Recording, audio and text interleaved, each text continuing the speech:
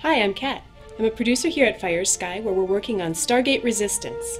We're really excited to bring you this sneak peek and show you some of the key elements that make our game awesome. Stargate Resistance is a fast-paced third-person shooter where Stargate Command battles it out against the Goa'uld system lords for complete domination of the galaxy.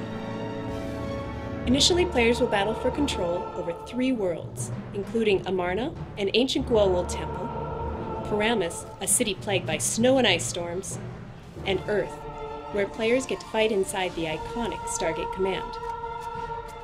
In Stargate Resistance, each battle matters. Every victory on every server earns the team domination points, which roll up into an overall total for that planet. When one faction is dominating the other, teams receive special buffs, bonuses, and rewards because of it. The game's teams each have three distinct classes. For Stargate Command, players can choose to play as a soldier, scientist, or commando, while the System Lords allow a player to step into the role of a Jaffa, Goa'uld, or Ashrak. The two factions have different classes and roles. We call this asymmetrical balance, and we feel it brings an extra level of variation and interest to our game. For example, Stargate Command specializes in long-range weapons and defense.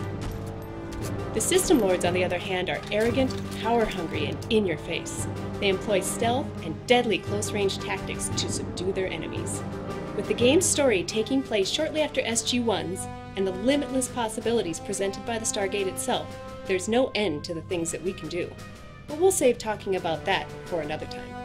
Stargate Resistance is set to release in the first quarter of 2010, so be sure to register with us at our website for the latest news, updates, and contests. If you use Facebook, you can also become a fan of our Stargate Resistance Facebook page. We'll be bringing you regular updates as we get closer to launch, so stay tuned. Thanks for watching!